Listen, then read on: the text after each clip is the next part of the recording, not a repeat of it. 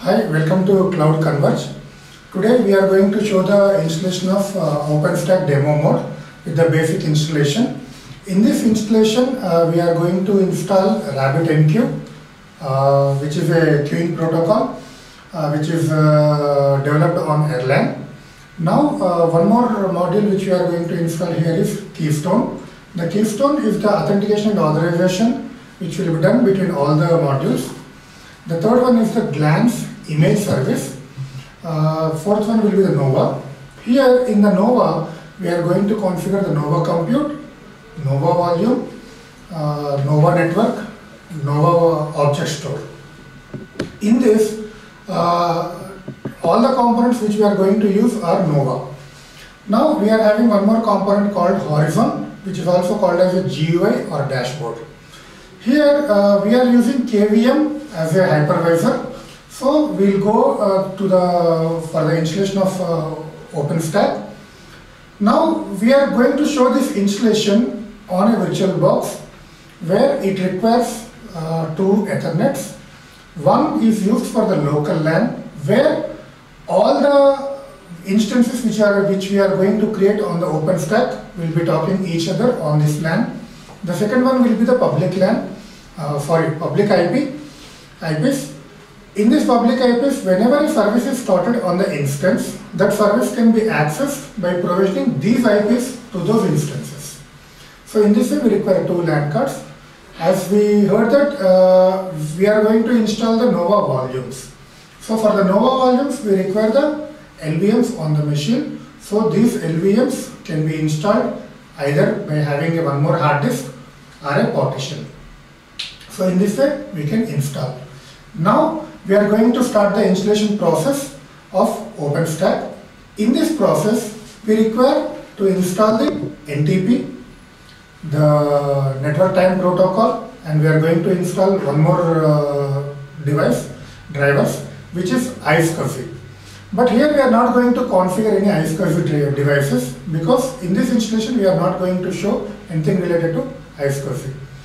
And the third component which we are going to install in this is the MySQL. The MySQL will store all the user database, all the user data where we are creating a database for the Keystone, Nova, Glance. All these things will be stored in the MySQL. So this is the total prerequisites. Before doing the prerequisites, we require one some more utilities which we call it as a wget or unzip. So we are going to see the installation in this.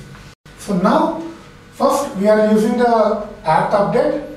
In the apt update it will be updating the repositories, total all the repositories uh, which are installed on the Ubuntu. Now once it is done, uh, now we are going to install the wget, unzip and elinks.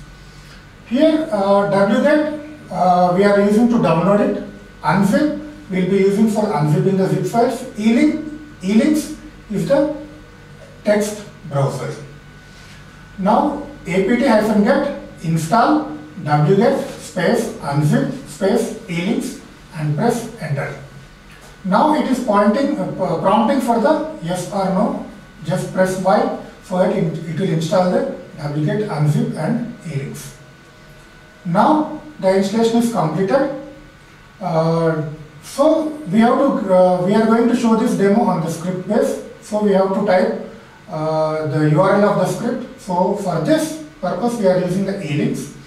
elinks space http colon slash slash cloudhyd.com slash openstack and press enter. Now by default the cursor is on the scripts. Just press enter and press tab to save it. Now when the tab cursor is on the save, just press enter and enter. Now the file is downloaded.